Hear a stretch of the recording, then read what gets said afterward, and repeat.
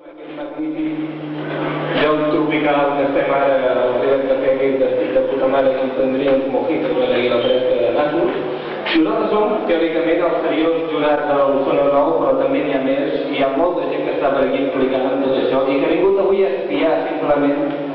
una colla de grups que hem cregut que eh, tenen condicions per poder accedir a la final del concurs, en aquest moment és el concurs musical més potent a Catalunya. Vull dir, de pensar que per fi, d'una vegada hi ha un concurs en el que es dona no només la possibilitat de gravar un disc, sinó pagar aquest disc, a més a més amb un productor, a més a més que aquest disc es tregui quan el disc ja vagi a rodar, Uh, a més a més, hi haurà cinc presentacions d'aquest disc per Catalunya en concerts en llocs importants. A més a més, hi haurà un videoclip pel grup que el guanyi i a més a més hi haurà una campanya forta amb els tres mitjans que estem implicats, que són la revista rock, aquí Lluís Gandrau, el director, a través de Catalunya Ràdio, eh,